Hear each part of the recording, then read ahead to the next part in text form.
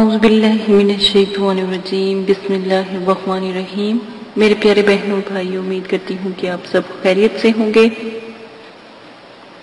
جیسا کہ آپ سے بات کی جا رہی تھی تیسری آنکھ کی، تو آج میں بتاؤں گی روحانی قوتیں ہے کیا؟ اور ان کو کیسے حاصل کیا جاتا ہے؟ دیکھیں میں یہ نہیں کہتی کہ انسان کی جو باطنی قوتیں ہیں، وہ ذکر و ذکرات سے ہی کھولی جا سکتی ہیں۔ دیکھیں، چلہ یا ریاست اس وقت تک بیکار ہے جب تک انسان کی روحانیت اس کے اندر موجود نہ ہو۔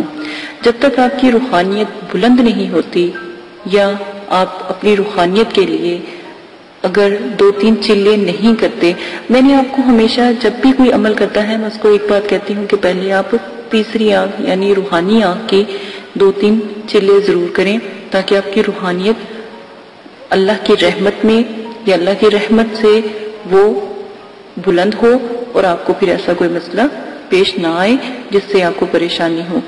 روحانیت کسی شخص میں کم ہوتی ہے، کسی میں زیادہ ہوتی ہے۔ یہی وجہ ہوتی ہے کہ بعض لوگوں کو چلے کے لیے بہت سے مشادات یا چیزیں پہلی روز میں ہی ظاہر ہونا شروع ہو جاتی ہیں، لیکن بعض لوگوں کی عمریں بیت جاتی ہیں۔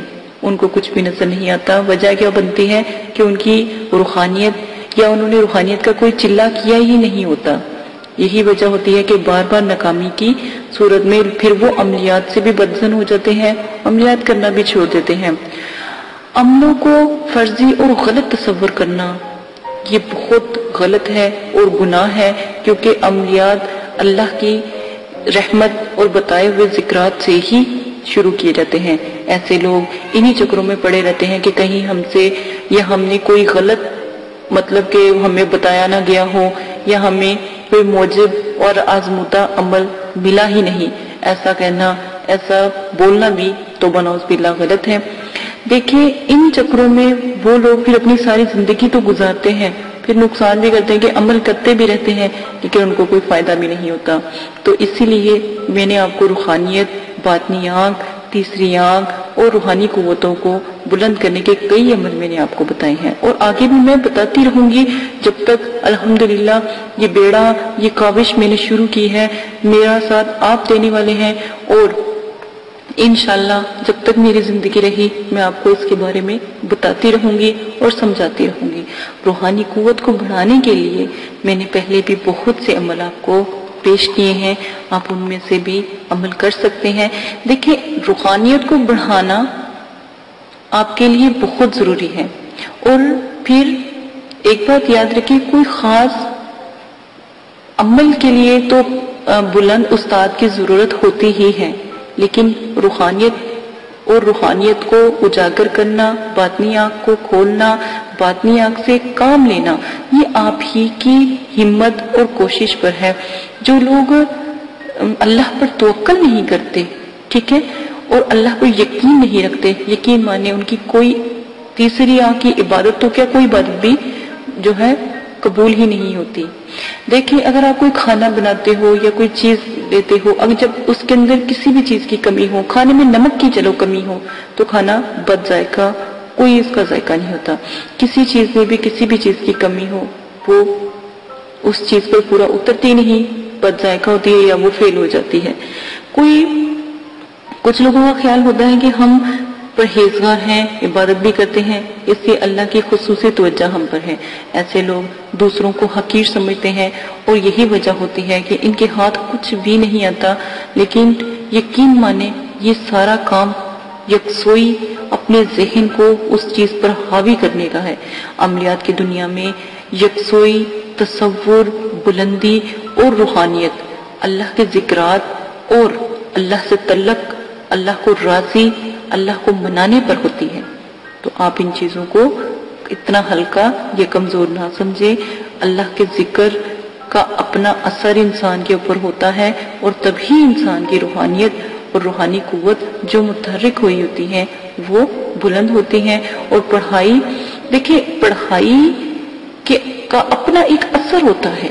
اللہ کا اگر اللہ اکبر، اللہ سمد کا اپنا ایک ذکر ہوتا ہے۔ جیسے میں آپ کو ایک بات بتاتی ہوں، آج چھوٹا سا ایک میں طریقہ بتاتی ہوں، یا وہابو۔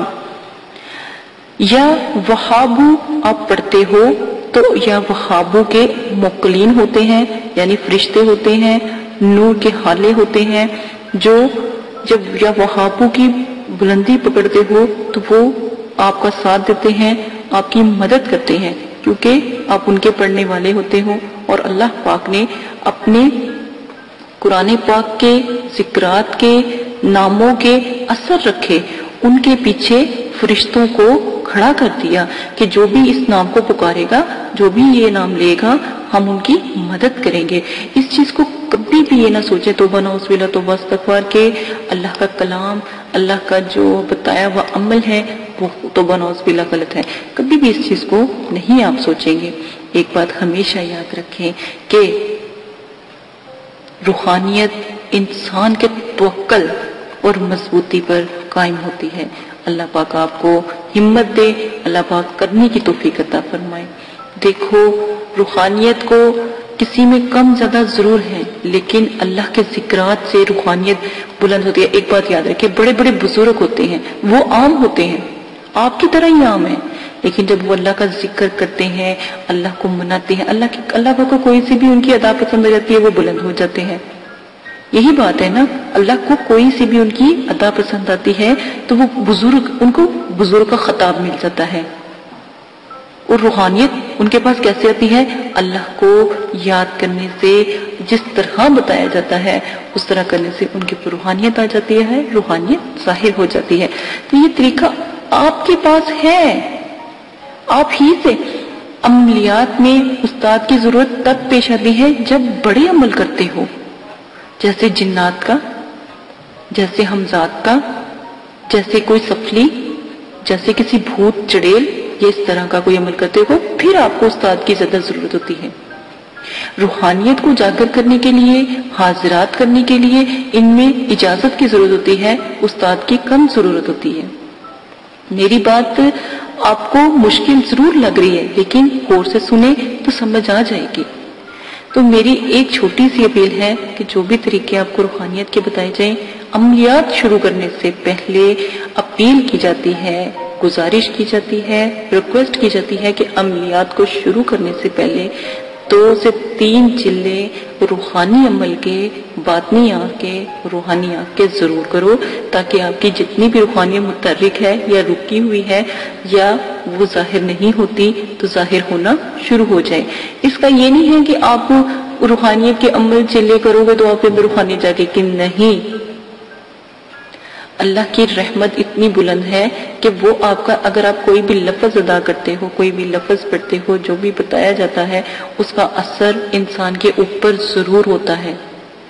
تو روحانیت بھی اسی کا نام ہے۔ یہ اب انسان کی غلط فہمی ہے کہ تو بنا بلا کہ اگر آپ عمل کرتے ہو، اس میں اگر کامیابی دیکھیں، ایک ہزار مرتبہ میں کہتی ہوں، اگر ایک عمل پکڑو، اس کو ایک ہزار مرتبہ بھی کرنا پڑے تو کرو۔ اس میں کامیابی ضرور ہے اور جس دن آپ کی کامیابی ہو گئی تو پوری زندگی آپ کی سنور جاتی ہے۔ بہت سے لوگ آتے ہیں، وہ یہ عمل کرتے ہیں، کوئی پہلی دفعہ میں کامیاب ہو جاتا ہے، کوئی تیسری، کوئی چوتھی، کوئی سو مرتبہ کرنے پہ کامیاب ہوتا ہے، لیکن کامیاب ضرور ہوتا ہے۔ دل تھوڑا نہ کرو، اللہ پر توکل باندھ کے مضبوط دل سے جو لوگ عمل کو جھوٹا اور توکل مضبوط نہیں رہتے، یقین مانے وہ کبھی کامیاب نہیں ہوتے، عمل بھی ان کا ساتھ نہیں دیتا۔ عمل کرتے وقت مقلین کی، پریوں کی، کسی بھی قسم کا آپ عمل کرتے ہو، حاضری ضرور ہوتی ہے اگر عمل ٹھیک ہو رہا ہے۔ وہ الگ وعدہ، آپ کی روحانیت کمزور ہوتی ہے تو وہ آپ کو نظر نہیں آتے۔ لیکن ایک میرے پاس میرے شگیت تھی، لڑکی تھی، وہ عمل اس کو میں نے ایک بتایا، الحمدللہ اس میں کامیاب ہوگی، لیکن اس کے اندر روحانیت کا پہلے دو چلے اس نے کیے تھے، روحانی آ کے پھر وہ کامیاب ہوگی، اس نے کوئی پری کا عمل کیا تھا۔ اب وہ پری جو جنات کی بیوی تھی، وہ آتی تھی، حاضر ہوتی تھی، وہ روشنی جو موم بتی ہوتی ہے کینڈل ہوتی ہے اس کی روشنی میں وہ ظاہر ہوتی تھی اس کو، لیکن کیا تھا کہ وہ بات نہیں کرتی تھی، ہلتی چلتی نہیں تھی، لیکن ایک تصویر کی مانت سامنے کھڑی رہتی تھی۔ اس نے کیا کیا؟ اس نے دو دو، تین مہینے تک وہ عمل کو برقرار رکھتی رہی، روز اس کو بلاتی رہی، وہ آتی بھی رہی، لیکن اس سے بات نہیں کرتی تھی۔ بات کیوں نہیں کرتی تھی؟ وہ ایک بت کی طرح کیوں کھڑی رہتی تھی؟ یا وہ اس ہلتی جلتی بھی نہیں تھی، بس ایک چہرہ دکھاتی تھی اس روشنی کے اندر۔ تو میرے پاس آئی، میں نے مجھے اس نے مکمل اپنا جو قصہ ہے وہ بتایا۔ کافی دور سے وہ مجھ سے عمل سیکھنے آئی تھی، یہاں کی نہیں تھی یعنی کہ پاکستان سے نہیں تھے وہ۔ وہ باہر سے آئے تھے۔ ان کے وہ اپنی والدہ کے ساتھ آئی تھی پاکستان میں۔ ان کے کوئی عزیز و قارب تھے، جب وہ یہاں پر آ کر مجھ سے مطلب کہ عمل سیکھنے آئی تھی۔ اچھا وہ جو لڑکی جو قصہ مختصر، کہ وہ جو پری تھی یعنی جنات کی جو بیوی تھی، وہ ہلتی نہیں تھی، وہ کھڑی رہتی تھی۔ اچھا غلطی اس نے کیا کی ہوئی تھی؟ غلطی اس نے یہ کی کہ جب اس نے یہ عمل کیا تھا، اس سے پہلے اس نے اس کی عمل کی زکات نہیں دی، اور جب اس کا عمل کامیاب ہو گیا، تو اس نے کسی مٹھائی پر اس کے لیے دعائیں خیر یعنی اللہ سے دعا نہیں کی تھی۔ پھر اس کو بتایا کہ اجازت لینا ضروری ہے۔ نمبر دو، تم نے جب پڑھائی مکمل تمہاری ہوئی یعنی تم نے اپنا چلہ مکمل کیا تھا، تو کیا تم نے کوئی چیز بچوں میں تقسیم کی؟ اس کے نام کی یعنی اس کا اسال ثواب اللہ پاک اس پری کو یعنی اس کے، اس کو پہنچا دے، یہ کیا۔ اس نے جب اس کو پتہ لگا کہ اس نے یہ چیز نہیں کی تھی، یقین مانے، بہت روئی، بہت زیادہ روئی۔ پھر اس نے تین دفعہ اس پری کے نام کی اللہ سے دعا کی اور اس کا سواب اس پری کو پہنچایا اور وہ اس سے بات کرنے لگ پڑی۔ اب مجھے نہیں پتا میں تو بناؤز باللہ میں جھوٹ نہیں بولنا چاہتی، تو بس دفعہ اللہ، پاک معاف کریں مجھے نہیں پتا کہ اب بھی اس کے پاس ہے یا نہیں، کیونکہ اگر ظاہر ہے میں تو اس کی استاد تھی، وہ مجھے بتا سکتی تھی، لیکن پھر بھی میں نے اس سے نہیں پوچھا، کیونکہ جب اپنے عمل کو کسی کے پر کھول دیتے ہو یا بتا دیتے ہو، تو وہ عمل قابو میں پھر نہیں رہتا، نقصان ہوتا ہے یا پھر وہ عمل غائب ہو جاتا ہے۔ تو آپ بھی اگر آپ کے ساتھ بھی بہت سے میرے پاس کمرس آتے ہیں کہ ہمیں الحمدللہ کامیابی ہوئی ہے، لیکن بتانا اس لیے نہیں میں چاہتی یا میں ان سے نہیں پوچھتی کیونکہ یہ چیز اچھی نہیں ہے، یہ ان کے نقصان کے لیے بہت بری ہے۔ اسی لیے اجازت چاہتی ہوں، بہت لمبی ویڈیو ہو گئی ہے، صرف آپ کو سمجھانے کے لیے ویڈیو لمبی کی جاتی ہے۔ ایک ایک پوائنٹ آپ کو میں اس لیے سمجھاتی ہوں کہ تاکہ آپ کو کسی بھی عمل میں نا امیدی یا پھر آپ کو جو عمل کیا منہ سے جیسے کہتے ہیں نا، مار نہ کھانی پڑے، عمل کی مار نہ کھانی پڑے۔ اس لیے میں ایک ایک پوائنٹ کو آپ کو سمجھاتی ہوں تاکہ آپ کو سمجھ آئے۔ اجازت بھی اپنا خیال رکھیے گا۔ اپنی اس بہن کو دعاؤں میں یاد رکھیے گا۔ جیسے آپ کو میری دعاؤں کی ضرورت ہے، مجھے بھی آپ کی دعاؤں کی ضرورت ہے، اجازت دیں۔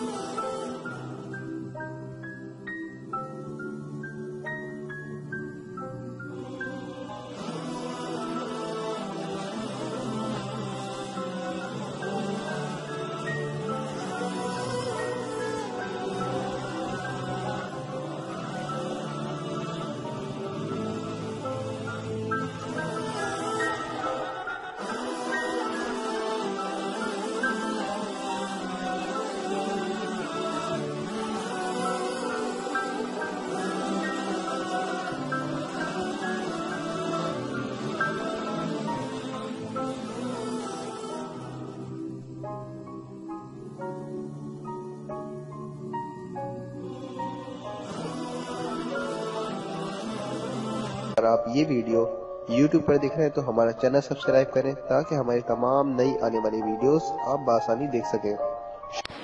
اعوذ باللہ من الشیطان الرجیم، بسم اللہ الرحمن الرحیم۔ میرے پیارے بہنوں اور بھائی امید کرتی ہوں کہ آپ سب خیریت سے ہوں گے۔ ہر عامل کے لیے ضروری ہے کہ وہ حمزات مقلات اور جنات اور حضرات کے اور پریوں کے اور فرشتوں کے عمل کرنے سے قبل اپنے اندر روحانی قوتوں کو پیدا کرے۔ اور اس سے عامل کے اندر زبردست قسم کی روحانیت اور روحانی قوتیں پیدا ہو جاتی ہیں اور حاضرات اور حمزات موکلات جنات اور پریوں وغیرہ کے عملیات میں یا عمل میں انشاءاللہ کامیابی ان کو ملتی ہے اور وہ کامیابی سے ہم کنار ہوتے ہیں اور کبھی بھی ناکامی نہیں ہوتی اور جو لوگ ان کا یعنی روحانی قوتوں کو بڑھانے کا، روحانی آنکھ کا اور باطنی آنکھ کا چلہ نہیں کرتے تو وہی لوگ ہیں جو کامیاب نہیں ہوتے عملیات کی دنیا میں۔ تو آپ سے گزارش کی جاتی ہے کہ جو ہم شرائط اور عمل میں طریقہ آپ کو بتاتے ہیں، وہ طریقہ آپ اختیار کریں تو آپ کے لیے بہت نایاب ہے۔ اور اگر ایک چلے میں آپ کو روحانی قوت اپنے اندر محسوس ہوتی ہے اور روحانیت ظاہر ہونا شروع ہو جاتی ہے۔ تو یقین مانے آپ عملیات کی دنیا میں کامیاب ہوگے نمبر دو، روحانی قوتوں کو بلند کرنے کے لیے آج میں نے جیسے کہ پہلے بھی کہا تھا کہ میں جو عمل آپ کو بتاؤں اور جو طریقہ اور شرائط بتاؤں وہ آپ لازم کریں۔ شرائط نمبر ایک، جگہ بالکل پاک صاف ہو، آپ بھی پاک صاف ہو غسل آپ نے کیا ہو؟ جنابت سے آپ نے پرہیز کیا ہو؟ یعنی گندگی سے آپ دور ہوں۔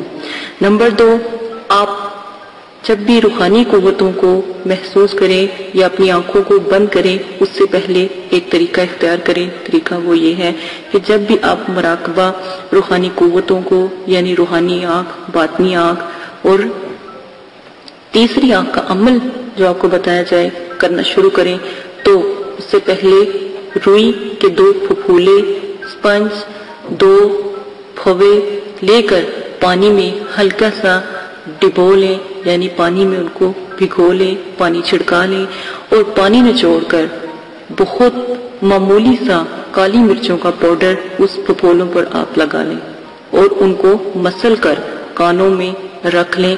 یہ آپ کے لیے روحانیت کو اجاگر کرنے کے لیے ایک نایاب تحفہ ہے۔ اگر کہیں تو نعمت اور رحمت ہے۔ دونوں کانوں میں جب آپ رکھ لو تو یہ آپ کو تھوڑی سی گرمی، جلن اور دنیاوی لوگوں کی آوازوں سے دور رکھے گی اور آپ کی جو اندر کی آواز ہے وہ آپ کو دوسری دنیا میں لے جانے کا ذریعہ بنے گی۔ نمبر تین، اگر آپ نے عمل کرتے ہوئے اپنے اندر یہ بات رکھی کہ پتہ نہیں یہ عمل مضبوط ہے کہ نہیں، یہ عمل ٹھیک ہے کہ نہیں، تو کبھی بھی آپ کامیاب نہیں ہوں گے۔ روحانیت کو اجاگر کرنے کے لیے روحانی اور جو بھی چلہ یا ریاست آپ کو بتائی جائے اور ذکر و ذکرات بتایا جائے، اس پر مکمل توکل رکھیں۔ سب سے پہلے توکل رب مضبوط رکھیں، اللہ پر توکل یقین کامل، اور اللہ سے ایک رابطہ قائم کرنے کا سوچ اپنے اندر رکھیں تو جلدی کامیاب ہوں گے، ورنہ آپ کی ریاست اور چلہ اور عملیات بیکار ہیں۔ ہر انسان کے اندر روحانیت ہوتی ہے، روحانیت موجود ہوتی ہے، کسی میں کم، کسی میں زیادہ ہوتی ہے، اور کسی میں اتنی زیادہ ہوتی ہے کہ پہلے روز ہی مشاہدات نظر آنے لگ جاتے ہیں، لیکن بعض لوگوں کی دیری ہوتی ہے، اس لیے ان کو تین چیلوں کا مشورہ دیا جاتا ہے تاکہ آپ ان تین چیلوں کی مدد سے روحانیت کو اجاگر کر سکیں۔ نمبر پانچ، ایسے لوگ جو اسیبی مرض میں مبتلا ہوں، دوروں میں یعنی کسی پر زیرو کا ہونا، مسلط ہونا سفلی جنات کا مسلط ہونا، ایسی چیزیں اگر ہوں تو وہ ان عملیات سے پرہیز کریں اور روحانی قوت وغیرہ کا بھی عمل نہ کرے کیونکہ اگر آپ پھر عمل کرتے ہو تو یہ پھر خطرناک ثابت ہو سکتا ہے اور خطرہ عظیم ہو سکتا ہے۔